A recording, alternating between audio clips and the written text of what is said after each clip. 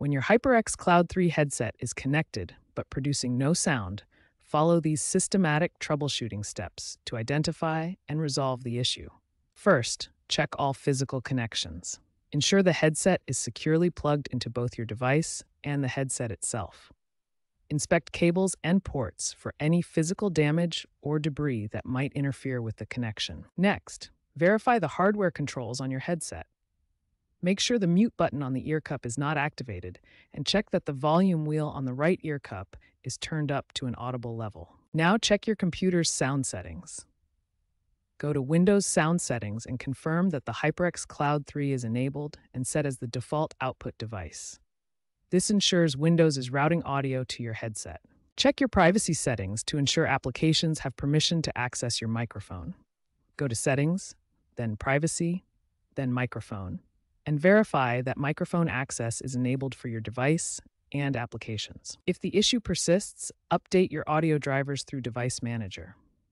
Expand the Sound, Video, and Game Controllers section, right click on your audio device, and select Update Driver. If updating doesn't work, try uninstalling and reinstalling the driver. Finally, download and install the latest version of HyperX Ngenuity software. This official software allows you to update your headset's firmware and adjust audio profiles for optimal performance.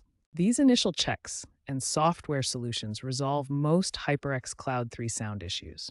Work through each step systematically, and you should be able to restore audio functionality to your headset. For wireless headsets, start by checking the USB wireless dongle connection. Ensure it's securely plugged in and showing proper status lights. For wired headsets experiencing audio cutouts, try the simple solution of unplugging and replugging the connection.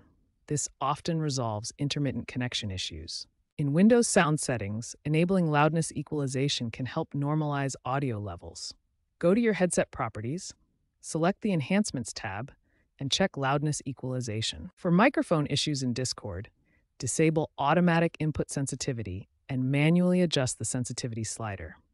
This gives you better control over microphone pickup levels. If none of these advanced troubleshooting steps resolve your HyperX Cloud 3 audio issues, contact HyperX support for professional assistance and potential warranty service.